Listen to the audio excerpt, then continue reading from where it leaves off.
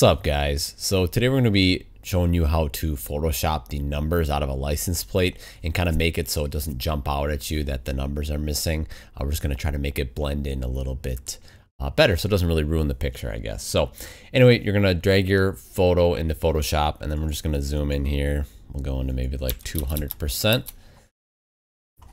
Then we'll scroll over here. We're going to grab our polygonal lasso tool and then you're just going to want to go around the edge of the numbers here. Once we got that, then we're going to go up to select and mask.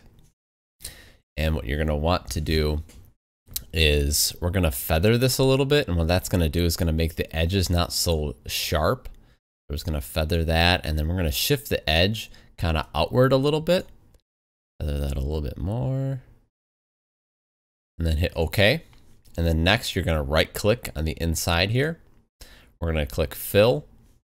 You're going to go down to this drop menu, select color, and then you're going to want to select a color um, inside here.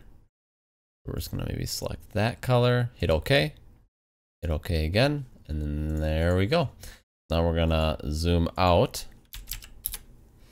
And there you go that's kind of how you hide the license plate a little bit. You could feather this maybe a little bit more um, or select another color um, to get it a little bit closer. But that's just a quick, simple way to, to get rid of the license plate uh, without it making it look too, I guess, obvious that you're trying to, you know, I've seen your where they use like a smudge tool and everything like that. This is just a little bit cleaner um, and it doesn't take away from the photo at all. So anyway, guys, hopefully you enjoyed the video. If it helped, please give the video a thumbs up definitely consider subscribing. That helps me out a bunch, guys. And we'll see you guys in the next video.